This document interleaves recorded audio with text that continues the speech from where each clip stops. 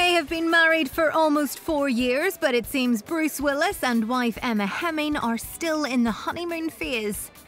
The actor couldn't keep his hands off his 34 year old actress and model wife at the European premiere of A Good Day to Die Hard in Berlin.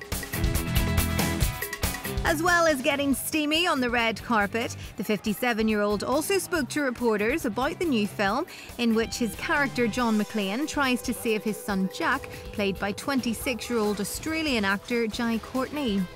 Despite rumours that this could be his last Die Hard movie, Bruce says he's not planning on retiring just yet. Of course not. I have another 25 years of these Die, die Hard films in me. It'd be nice. I mean, if something happens to me, if I get hurt, I'd like to work with Jai again. I think he's a, uh, a great actor and a great guy to, you know, to play my son. But it's not quite time to pass the baton.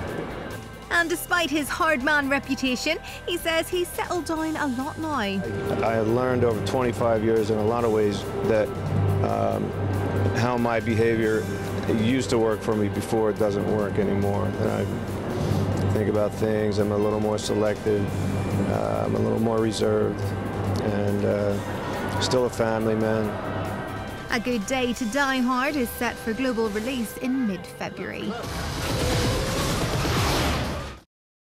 Hi, I'm Lisa, the news editor at ITN Productions, and I'm here to introduce this guy. This is Phil, and we want to tell you about a brand new channel you should totally check out. Hi, I'm from the team at Truthloader, a YouTube channel dedicated to investigative and citizen journalism. We're talking about everything from inflatable space stations to the ongoing situation in Syria. We're also live every day with our Google Hangouts. Make sure you don't miss out on any of the cool stuff going on on the other side by hitting subscribe now.